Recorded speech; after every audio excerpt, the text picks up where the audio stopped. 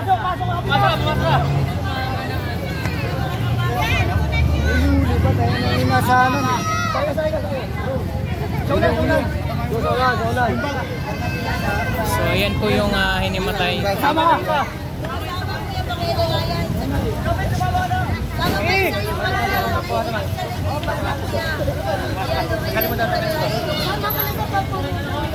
Kaming bata, kaming bata.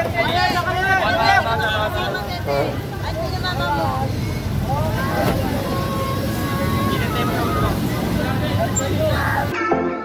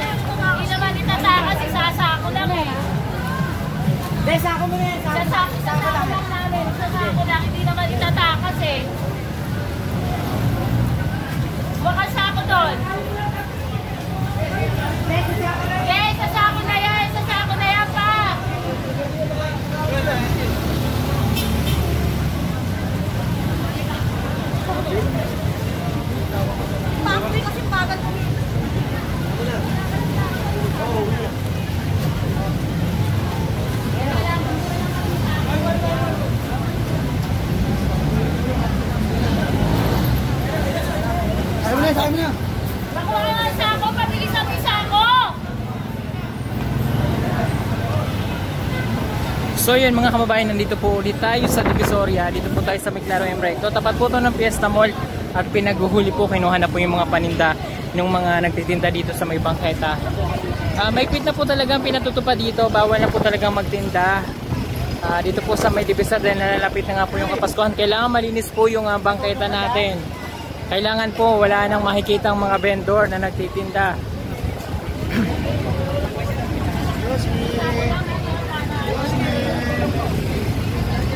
Nakaharap sa daan. Dahil dyan na, dyan ka namin nato, dyan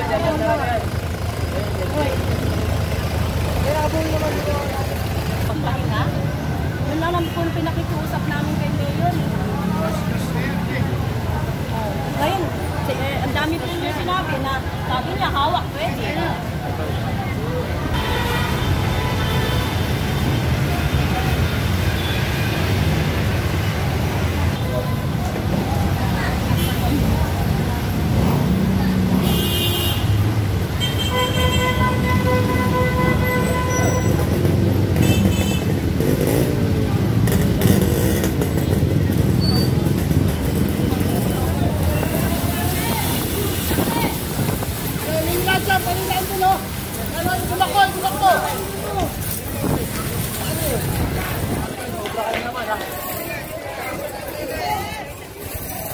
第一个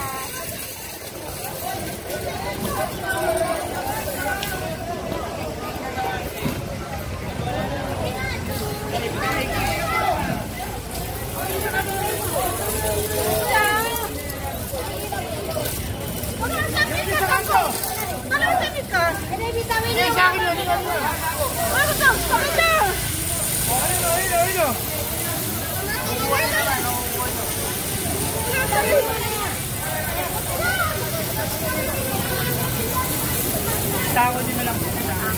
Sako, kuha yung sako. Pare, lagi natin yung sako, pare.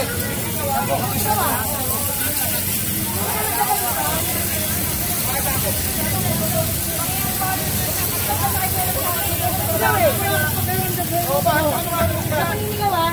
Hindi ako naninigaw. Ano mangingilam? Tinatawagan ako. Mangingilam ka eh. Kang mangingilam. Oo, tama na eh.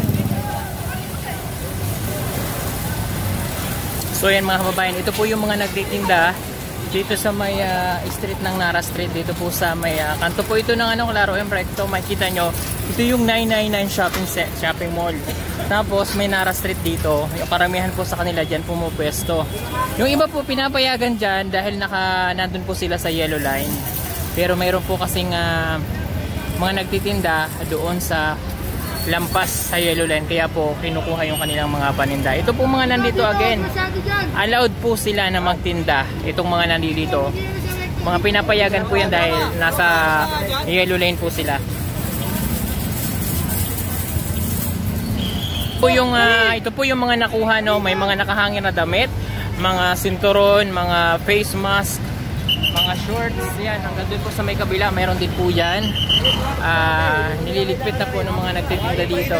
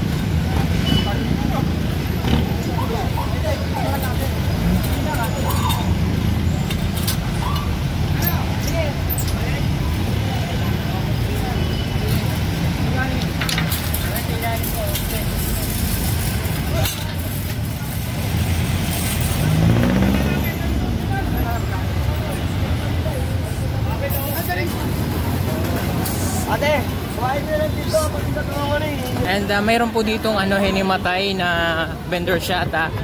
So dadalhin po ng ano ng ah, sa ospital ng hawkers para ah, ano na lang Oh, ngayon, hindi ka Boss! Pasok, pasok. Masarap, masarap. Huli pa tayo na inasahan. Saya, saya. Saulan, saulan. Saulan, saulan. So yan po yung ah, hinimatay. Sama ka.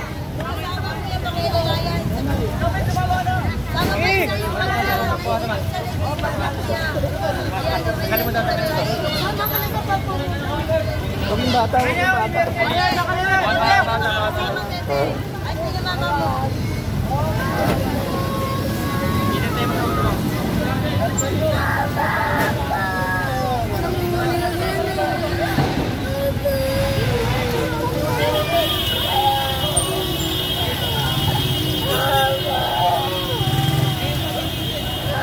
may isa pong ah, vendor na na hinimatay, lalaki po no. Ah, siguro dahil siguro mainit po kaya hinimatay siya. Nadali na po ng mga hawkers ah, sa hospital para po mabigyan siya doon ng ah, paggamot or ah, para po maano siya, matingnan ng mga doktor kung ano talaga nang mangyari sa kanya doon.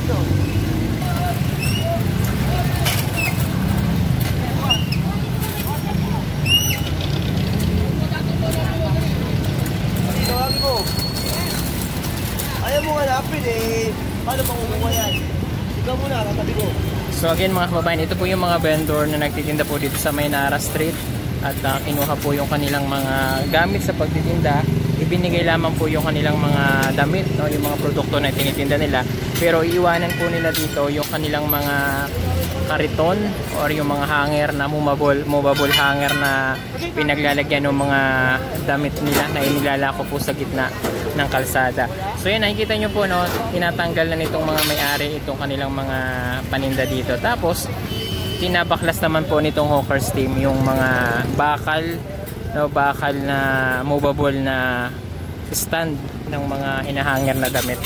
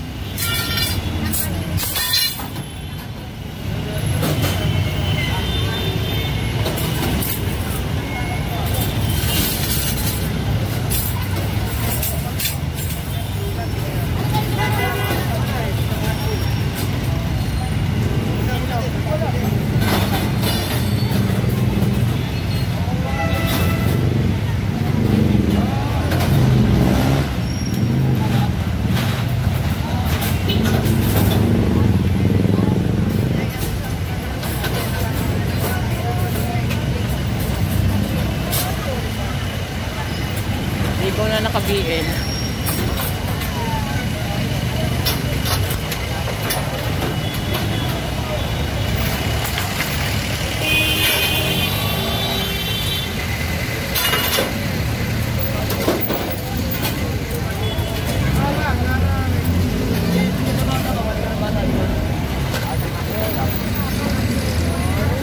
Yan pala eh, oh. Ito. Ayan mabubulok eh. Ganito na lang galing lang. Oh.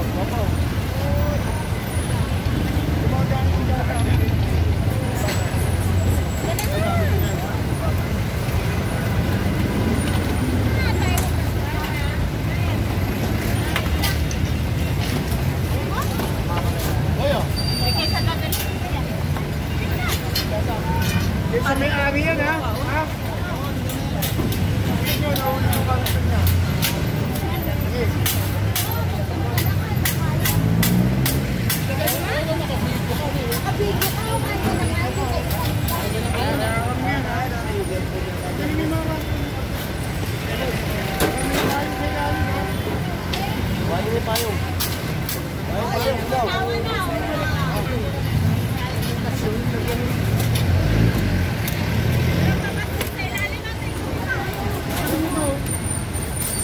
Dad, dad, asa yung ano mo?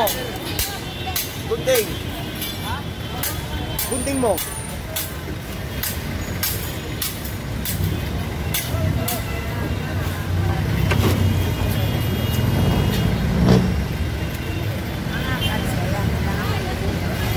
So ayan mga kababayan, ito po yung mga nakuhang mga gamit no. Ito may kariton pa dito, yun nga po yung pinaglalagyan ng ubas na ginagamit ng vendor dito. At pagkatapos po niyan, dadalhin na po yan sa headquarters ng Hawkers team sa may ah, Central Station. Oh. Ang ah, mga nakukuha pong mga ito ay ah, dinadala doon at yung iba po dyan talagang dinidispose na nila kapag hindi na po nababalikan ng mga may-ari. 2 to 3 days yata yung binibigay. Minsan nga lumalampas na ng 1 week. So ang ginagawa po ng ano ng ah, Hawkers team, sinisira po nila lahat yan. No? Pag Sabado po talagang ah, nagli- naglilinis sila ng mga nakukuha nilang mga gamit sa mga vendors. So ayun mga kababayan, ito po muna yung ating ah, may si-share na video ah, sa hapong ito. Ngayon po ay November 18, 2019 at dito po yan nangyari sa may Divisoria ulit mga kababayan. At tuloy-tuloy po yung ginagawang cleaning operations ng Hawkers team dito po sa may Divisoria at ah, mamaya po may karugtong pa po itong video na to pero puputulin ko po muna dahil ah, para po hindi kayo masyadong mainip no dahil mahaba po yung ating ah, video kinat ko po muna siya ng ah, at least sa 10 minutes po mga kababayan. So muli ako po si Pugong Bihero no kung hindi pa po pala kayo nakapag-subscribe at bago lang po kayo sa aking channel welcome po.